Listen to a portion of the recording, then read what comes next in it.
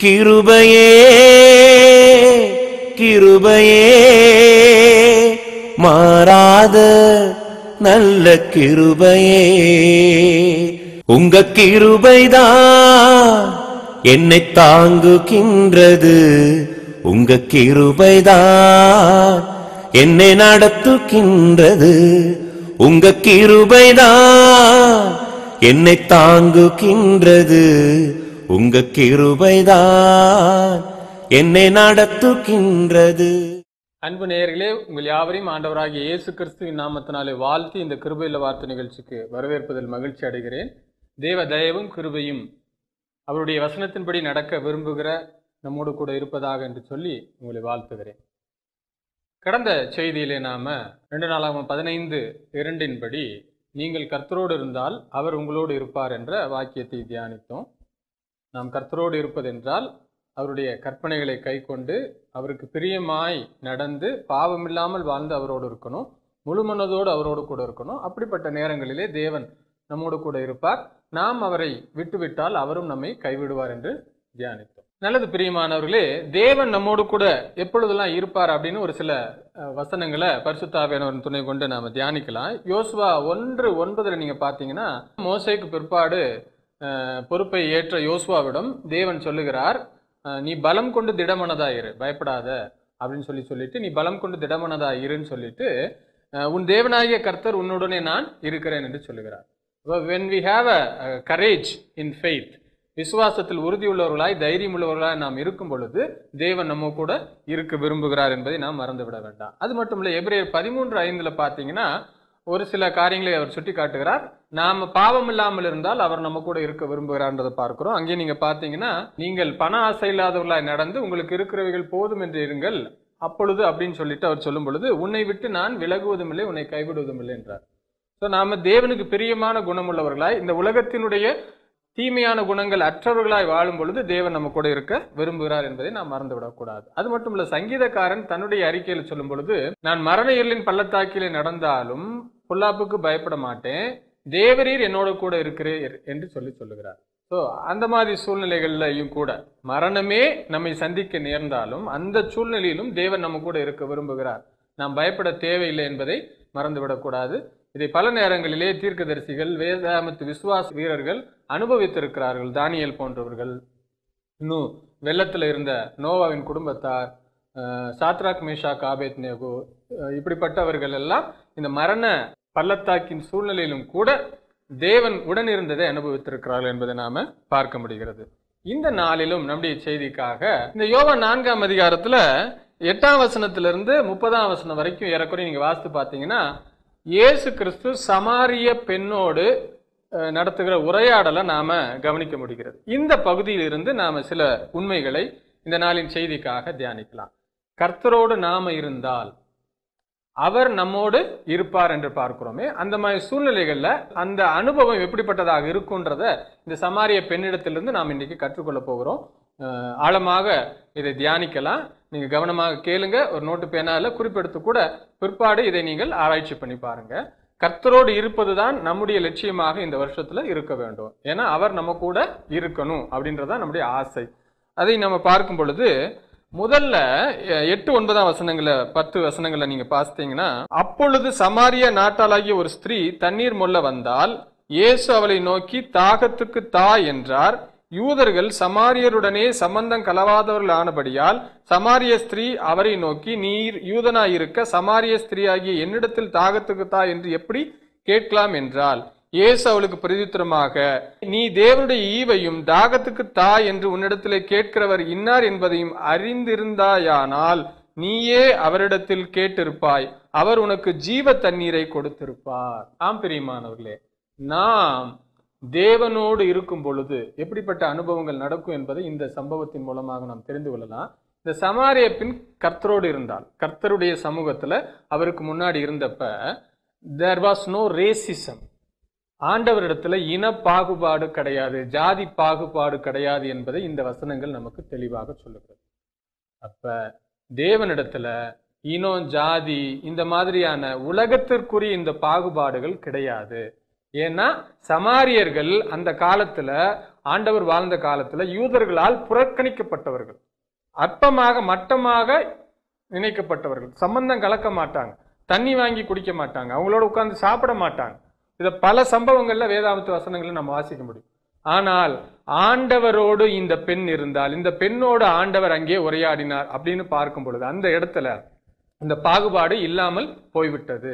ஏன்னா அந்த பெண்ணே கேட்கிறா நான் சமாரிய பெண்ணு நீர் யூதன் எப்படி என்கிட்ட தண்ணி வாங்கி நீங்க குடிக்கலாம்? அப்படின்னு கேட்கும் பொழுது ஆண்டவர் சொல்லுகிறார் பாகுபாடு இல்லை என்பதை அந்த பெண்ணுக்கு நான் யார்? நீ தெரிஞ்ச அப்படி பேச மாட்டேன்னு சொல்றாரு. நான் ஜீவ தண்ணீரை நீ தெரிந்து கொள்ள வேண்டும் என்று சொல்லி சொல்லுகிறார். அப்ப தேவனிடத்துல இன பாகுபாடு இல்லை என்பதை அவரை சந்திக்கும் தருவாயில் நாம் தெரிந்து கொள்ள முடியும். When we have encounter with God தேவனை சந்திக்கிற தேவனோடு கூட உறவாடுகிற நேரங்களிலே அங்கே என்ன கிடையாது? இன ஜாதி பாகுபாடு கிடையாது என்பதை நாம புரிந்து கொள்ள வேண்டும். அடுத்ததாக நாம பார்த்தோம் என்றால் நம்முடைய பாவங்களை நாம உணர்ந்து கொள்ள முடியும். பதினேழு பதினெட்டு பத்தொன்பதாம் வசனங்களை வாசிக்கிறேன். கவனிங்க பாருங்க. அதற்கு அந்த ஸ்திரீ எனக்கு புருஷன் இல்லை என்றால் இயேசு அவளை நோக்கி எனக்கு புருஷன் இல்லை என்று நீ சொன்னது சரிதான். எப்படி எனில் ஐந்து புருஷர் உனக்கு இருந்தார்கள். இப்பொழுது உனக்கு இருக்கிறவன் உனக்கு புருஷன் அல்ல. இதை உள்ளபடியே சொன்னாய் என்றார். அப்பொழுது அந்த ஸ்திரீ அவரை நோக்கி ஆண்டவரே நீர் தீர்க்கதரிசி என்று காண்கிறேன். அவளுடைய பாவ நிலையை உணர்ந்து கொண்டால் அதற்கு வந்த மறு உத்தரவான வார்த்தை தான் நீர் தீர்க்கதரிசி என்று நான் உணர்கிறேன். இப்ப ஆண்டவரோடு நாம இருந்தா கர்த்தரோடு நாம இருந்தா அவர் நம்மோடு இருப்பார்ன்றதுக்கு என்ன அர்த்தம்? அப்படின்றதான் தியானித்துட்டு வர்றோம். அவர் நம்மோடு இருப்பார்னா அங்கே பாகுபாடு கிடையாது. ரெண்டாவது நாம பார்க்கிறது நம்முடைய பாவங்களை நாம் உணர்ந்து கொள்ள முடியும். நம்முடைய உண்மையான நிலையை நாம் அறிந்து கொள்ள முடியும் பிரியமானவர்களே. நாம் நினைச்சிட்டு இருக்கலாம் I am okay I am perfect நான் தான் பரலோகத்தின் வாசல்ல நின்றுகிட்டு இருக்கேன். ஆண்டவர் வந்தவொடனே உள்ள ஸ்டெப்பு எடுத்து வைக்க வேண்டியதுதான் பாக்கி அப்படிலாம் நம்ம நினைச்சிட்டு இருக்கலாம். ஆனால் எப்பொழுது நம்ம வேதம் வாசிக்க ஆரம்பிக்கிறோமோ எப்பொழுது தொடர்ந்து ஜெபிக்க ஆரம்பிக்கிறோமோ எப்பொழுது வேதத்தை ஆராய்ந்து நாம் பார்க்கிறோமோ எப்பொழுது தேவனோடு அதிக நேரத்தை செலவழிக்கிறோமோ அப்பொழுதுதான் நமக்கு தெரியும் நான் ரொம்ப பின்தங்கி இருக்கிறேன். நான் ரொம்ப பாவியாக இருக்கிறேன். நான் இன்னும் தேவனுக்கு பிரியமா வாழணும்னு அப்பொழுதுதான் உணர்ந்து கொள்வோம். சபைக்கே போகாதவங்க வசனமே அடிக்கடி படிக்காதவங்க எப்பயாவது தேவனை தேடுறவங்க நான் ரைட்டு தான் நான் ஓகே தான் சொல்லுவாங்க. ஆனா தேவனை தேடி உண்மையாய் தேவனை தேடி அவருடைய வசனத்தை உண்மையாய் ஆராய்ச்சி பண்ணி நேர்த்தியான இருதயத்தோடு அவரிடத்துல ஜெபிக்கிறவங்க தங்கள் நிலையை அறிந்து கொள்ள முடியும். தாங்கள் பாவி என்பதை உணர்ந்து கொள்ள முடியும். இந்த பெண்ணும் இயேசுவை சந்தித்த பொழுது கர்த்தரோடு இருந்த பொழுது அந்த நேரத்துல அவள் தன்னுடைய நிலையை உணர்ந்து கொண்டாள் என்று நாம பார்க்கிறோம். முதல்ல ரேசிசம் கிடையாது. தேவனோடு நாம் இருக்கிற பொழுது நாம் கர்த்தரோடு இருந்தால் அவர் நம்மோடு இருந்தால் இன பாகுபாடு ஜாதி பாகுபாடு கிடையாது என்பதை நாம் புரிந்து கொள்ள வேண்டும். அதே போல இரண்டாவதாக நம்முடைய பாவ நிலையை நாம் உணர்ந்து கொள்ள முடியும் நாம கர்த்தரோடு இருந்தால். அது மிகப்பெரிய ஆசீர்வாதம் என்பதை மறந்துவிடும் ஏன்னா நாம உணர்ந்தால்தான் நாம் பாவி என்ற உணர்வு நமக்கு வந்தாதான் அதுல இருந்து வெளியில வரணும்னு நமக்கு ஆசை வரும். நான் தப்பு செய்யறேனே எனக்கு படலை. நான் ஏன் மாறணும்னு நினைப்போம் இல்லையா? அப்படிதான் இன்றைக்கு நிறைய வாலிபர்களும் பெரியவங்களும் இல்லை ம- எல்லாருமே கேட்குறாங்க நான் என்ன தப்பு செஞ்சேன்? So they don't realise they are sinning அவங்க பாவம் செய்கிறார்கள் என்பதை அவர்கள் உணர்வது கிடையாது. அந்த உணர்வு ரொம்ப ரொம்ப ரொம்ப அவசியம் என்பதை நாம் மறந்துவிடக்கூடாது. மூன்றாவதாக நாம் பார்த்தோம்னா தேவனோடு நாம் இருக்கும் பொழுதுதான் ஆவிக்குரிய உண்மைகளை நாம் புரிந்து கொள்ள முடியும். ஸ்பிரிச்சுவல் ட்ரூத் எல்லாம் நாம தெரிந்து கொள்ள முடியும். தெரியாத தேவனுடைய திட்டங்களையும் அவர் வேதத்தில் வெளிப்படுத்தி இருக்கக்கூடிய உண்மைகளை நாம புரிந்து கொள்ள முடியும். இந்த பெண் இதுவரைக்கும் வரைக்கும் இந்த இடத்துல தான் தொழுது கொள்ளணும். இதுதான் தொழுகைக்குரிய இடம். இதுதான் அப்படின்ற மாதிரி கடவுள் வாழ்ற இடம் அப்படின்னு நினைச்சுக்கிட்டு இருந்தா. என்ன வாசிக்கிறேன் கேளுங்க. ஸ்திரீயே நான் சொல்லுகிறதை நம்பு. நீங்கள் இந்த மலையிலும் எருசலேமிலும் மாத்திரமல்ல எங்கும் பிதாவை தொழுது கொள்ளும் காலம் வரும். அப்படின்னு ஆண்டவர் சொல்றாரு. அப்போ அவள் இந்த மலையில தான் தொழுது கொள்ள முடியும். இந்த இடத்துல தான் தொழுது கொள்ள முடியும். தொழுகைக்குரிய இடம் கடவுள் இருக்கிற இடம் கடவுளை தேடுற இடம் இதுதான்றது அவள் அறிந்து வைத்திருந்தார் ஆனால் ஆண்டவர் சொல்லுகிறார் எங்கும் பிதாவை தொழுது கொள்ளுகிற காலம் வரும். எருசலேமிலே மாத்திரம் அல்ல எந்த இடத்திலும் தேவனுடைய ஆலயம் என்று சொல்லப்படுகிற இடத்துல மாத்திரமல்ல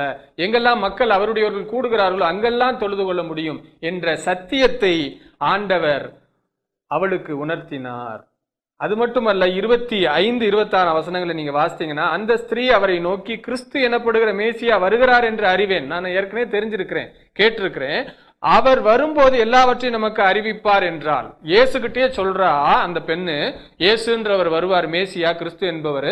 அவர் வரும்பொழுது எல்லாத்தையும் நமக்கு தெரியப்படுத்துவார். நீங்க சொல்ற இந்த உண்மையெல்லாம் அப்படின்ற மாதிரி சொல்லும் பொழுது ஆண்டவர் சொல்றார் அதற்கு இயேசு உன்னுடனே பேசுகிற நானே அவர் என்றார். அப்ப நம்ம இங்க பார்க்கிறோம் அந்த தருணத்திலே அவள் புரிந்து கொண்டாள். தன்னுடனே பேசுகிற மேசியா யார் என்பதை புரிந்து கொண்டாள். ஏன் அப்படின்னு பார்த்தீங்கன்னா ஊருக்குள்ள போய் நான் மேசியாவை என்ன செஞ்சேன்? பார்த்தேன் அவர் கிறிஸ்து தானா அவர் மேசியா தானா வந்து பாருங்கள்னு சொல்றத நம்ம பார்க்கிறோம். பிரியமானவர்களே இப்போ மூன்றாவதாக நாம் கர்த்தரோடு இருக்கும் பொழுது நாம் தேவனோடு நேரத்தை செலவழிக்கும் பொழுது நாம் இயேசுவோடு இருக்கும் பொழுது ஆண்டவரோடு இருக்கும் பொழுது என்ன நடக்கும்ன்றதுக்கு ஒரு ஆதாரமாக இந்த பெண்ணிடத்திலே இயேசு பேசின பொழுது ஸ்பிரிச்சுவல் ட்ரூத்தை ஆவிக்குரிய சத்தியங்களை புரிந்து கொண்டால் எங்கும் தொழுது கொள்ளுகலாம் மேசியான்றது யாரு? அவர் என்ன சொல்லியிருக்கிறார்? இந்த மாதிரி காரியங்களை நாம் தேவனோடு இருக்கும் பொழுதுதான் தெரிந்து கொள்ள முடியும். பைபிளையும் தவிர்த்துக்கிட்டு ஆண்டவரோட உறவையும் தவிர்த்துட்டு எனக்கு கடவுள் எந்த வழியில் நடத்தணும்னு விரும்புகிறாரோ நடத்தட்டும் அப்படின்னு தியானத்திலலாம் எதையுமே நாம் தெரிந்து கொள்ள முடியாது. வேதம்தான் அதற்கு மூல ஆதாரமாக இருக்கிறது. தேவன் என்ன நமக்கு செய்தியை சொல்ல விரும்புகிறான்றதை வேதத்தில் தான் பார்க்க வேண்டும். நாம் அவரிடத்தில் நம்முடைய மனக்குமுறல்களையும் ஸ்தோத்திரங்களையும் அல்லது நம்முடைய விண்ணப்பங்களையும் எதை சொல்லணும்னாலும் ஜெபத்துல தான் சொல்ல முடியும். இது தவிர வேற மீடியம் கிடையாது. இதை நாம மறந்து விடக்கூடாது இறுதியாக நான்காவதாக என்ன நடக்கும் அப்படின்னு நாம பார்த்தோம்னா இந்த இடத்துல அவள் அறிந்தவிடனே என்ன செய்தாள்? என்று இருபத்தெட்டு இருபத்தொன்பதாம் வசனத்தில் நம்ம பார்க்கிறோம். அப்பொழுது அந்த ஸ்திரீ தன்னுடைய குடத்தை வைத்துவிட்டு ஊருக்குள்ளே போய் ஜனங்களை நோக்கி நான் செய்த எல்லாவற்றையும் ஒரு மனுஷன் எனக்கு சொன்னார். இயேசுவோடு இருந்தால் நம்முடைய நிலையை அறிந்து கொள்ளலான்றதை நாம தெரிந்து கொண்டோம் இல்லையா? அந்த பெண்ணே தெரிந்து கொண்டால் அப்பொழுது அவர்கள் ஊரிலிருந்து புறப்பட்டு அவரிடத்தில் வந்தார்கள். அவள் இயேசுவோடு இருந்த பிறகு அந்த எக்ஸ்பீரியன்ஸ் அந்த என்கவுண்டர் அந்த அனுபவத்திற்கு பிற்பாடு இயேசுவை பற்றி மற்றவர்களுக்கு சொல்ல ஆரம்பித்தார் நாமும் இயேசுவோடு இருந்தால்தான் கர்த்தரோடு இருந்தால்தான் அவர் நம்மோடு இருப்பார். அப்படின்னு நாம் என்ன செய்வோம்னா இந்த நற்செய்தியை போய் மற்றவர்களிடத்துல யதார்த்தமாக சொல்ல ஆரம்பிச்சு விடுவோம் நம்ம ஆண்டவரை பற்றி சொல்லணுமா? சுவிசேஷ பணியை செய்யணுமா? அதற்கு முதலாவது நாம் அவரோடு நேரத்தை செலவழிக்கணும். அப்படி அவரோடு நேரத்தை செலவழித்து அவரோடு இருக்க ஆரம்பித்தோம்னா நம்ம போய் மற்றவர்களுக்கு நற்செய்தியை சொல்ல முடியும் பிரியமானவர்களே. நான்கு காரியங்களை இந்த இடத்துல இந்த சமாரிய பெண்ணோட கூட ஆண்டவர் பேசின விஷயத்திலிருந்து நாம் கற்றுக்கொண்டோம். இயேசு அந்த சமாரிய பெண்ணோடு பேசின பொழுது அல்லது அந்த சமாரிய பெண் இயேசுவோடு கூட இருந்த பொழுது பேசின பொழுது என்ன நடந்துச்சுன்றதை பார்க்கிறோம். ஒன்று அங்கே இன பாகுபாடு ஜாதி பாகுபாட இயேசு பார்க்கல. சமாரிய பெண் அவள் புறக்கணிக்கப்பட்ட ஒரு குரூப்பா இருந்தாலும் இயேசு அவளோடு பேசினார்ன்றதை பார்க்கிறோம். ஸோ இயேசுவை நாம் சந்திக்கும் பொழுது நம்ம இடத்துல பாகுபாடு இருக்காதுன்றதை பார்க்கிறோம். இரண்டாவதாக அங்கே நாம நம்முடைய பாவத்தை உணர்ந்து கொள்ள முடியும்னு இந்த சமாரிய பெண் நமக்கு சொல்லி கொடுக்கிறாள். அவள் தன்னுடைய பாவத்தை புருஷன் மார் எத்தனை பேர் எப்படிப்பட்ட வாழ்க்கை வாழ்ந்தால் என்றதெல்லாம் அவள் அறிந்து கொண்டாள் இயேசுவை சந்தித்த பொழுது. இயேசுவோடு கூட இருந்த பொழுதுன்றதை பார்க்கிறோம். மூன்றாவதாக சில ஆவிக்குரிய சத்தியங்களை அவள் அறிந்து கொண்டாள். எங்கு தொழுது கொள்ளணும்? இன்றைக்கு எப்படிப்பட்ட தொழுகை? ஆண்டவர் யாரு? மேசியா யாரு? அவர் எதற்காக வருகிறார் என்ற சத்தியங்களை அவள் தெரிந்து கொண்டாள். நான்காவதாக இயேசுவோடு கூட இருந்தால் இயேசுவோடு கூட நேரத்தை செலவழிச்சா நாம் ஆண்டவரோடு கூட இருந்தால் கர்த்தரோடு இருந்தால் வேதத்தோடு கூட இருந்தால் நாம் நற்செய்தியை மற்றவர்களுக்கு சொல்லுவோம். இந்த அனுபவத்தை நாமும் இந்த வருஷத்தில் பெற்றுக்கொள்வோம். இந்த வாக்கியங்களோடு நான் நிறைவு செய்கிறேன். நீங்கள் கர்த்தரோடு இருந்தால் அவர் உங்களோடு இருப்பார். கர்த்தரோடு இருப்பதென்றால் அது எப்படிப்பட்டதாக இருக்கும் என்பதை இந்த நாளின் செய்தியின் மூலமாக நாம் தியானித்தோம். தேவன் தாமே இந்த கிருபையை நமக்கு தந்தருள்வாராக. ஜெபம் செய்வோம். எங்களை நேசிக்கிற நல்ல பிதாவை துதிக்கிறோம். இந்த நாளுக்காக நன்றி. சமாரிய பெண் ஆண்டவரோடு நேரத்தை செலவழித்த பொழுது என்னெல்லாம் மாற்றம் நடந்தது என்பதை நாங்கள் அறிந்து கொண்டோம். அதை போல நாங்களும் எங்கள் நிலையை பாவத்தை உணர்ந்து நாங்கள் மனம் திரும்பத்தக்கதாக தேவ ஆசீர்வாதத்தை பெற்றுக்கொள்ளத்தக்கதாக அவரோடு கூட நேரத்தை செலவழிக்க அவருடைய வேதத்தோடு கூட நேரத்தை செலவழிக்க உம்மோடு கூட தொடர்ந்து பேச எங்களுக்கு கிருபை செய்யுங்க.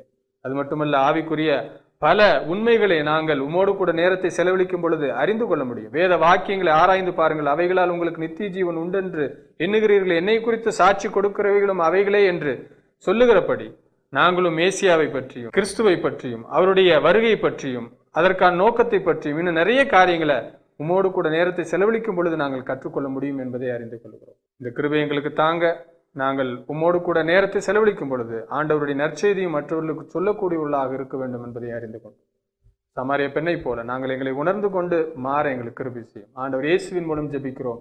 ஜீவனுள்ள நல்ல பிதாவே பரிசுத்த வேதாகமத்தை முறையாக கற்றுப்பெறும் ஆசிர்வாதம் வாழ்க்கையில் கிடைக்காமல் போய்விட்டதே என்று ஏங்குவோருக்கு ஓர் அரிய வாய்ப்பு. நீங்களும் வீட்டிலிருந்தே பரிசுத்த வேதாகமத்தை கற்றுக்கொள்ளலாம். சான்றிதழ் மற்றும் பரிசுத்த வேதாகமத்தை பரிசாக பெற கிருபை உள்ள வார்த்தை தபால் பெட்டி எண் பதினைந்து அரசடி மதுரை ஆறு இரண்டு ஐந்து பூஜ்ஜியம் ஒன்று ஆறு. மேலும் தொடர்புக்கு ஒன்பது இரண்டு நான்கு நான்கு இரண்டு ஒன்று நான்கு நான்கு இரண்டு ஒன்று. ஒன்பது இரண்டு நான்கு நான்கு மூன்று ஒன்று நான்கு நான்கு மூன்று ஒன்று. நீங்கள் ரட்சிக்கப்பட வேண்டும் என்பது தேவனுடைய சித்தமாயிருக்கிறது. சரியான சத்தியத்தை கேள்விப்பட வேண்டும். சத்தியத்தை விசுவாசிக்க வேண்டும். பாவ வாழ்வை விட்டு மனம் திரும்ப வேண்டும். இயேசுவே தேவனுடைய குமாரன் என்று நாவினால் அறிக்கையிட வேண்டும். பாவ மன்னிப்புக்கென்று ஞானஸ்நானம் பெற வேண்டும்.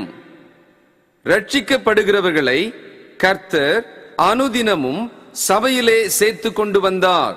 அன்பு நேர்களே நீங்கள் மதுரையில் இருப்பவர்களானார் எங்களுடன் சபையில் சேர்ந்து ஆராதிக்க உங்களை அன்புடன் அழைக்கின்றோம். எங்களுடைய சபை ஆராதனை நேரங்கள் ஞாயிறு காலை ஒன்பது முப்பது மணிக்கும் மாலை ஆறு முப்பது மணிக்கும் மற்றும் வேத ஆராய்ச்சி புதன் மாலை ஆறு முப்பது மணிக்கும் நடைபெறுகிறது.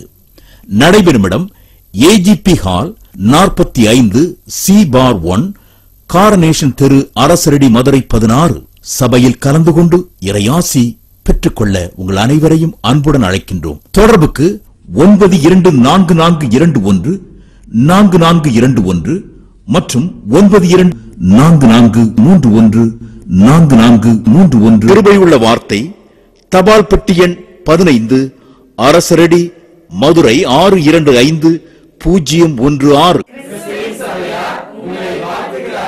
Joy Creative Production. for video coverage and editing, audio recording and editing, promo for advertisement, graphic design. Contact 9042494996.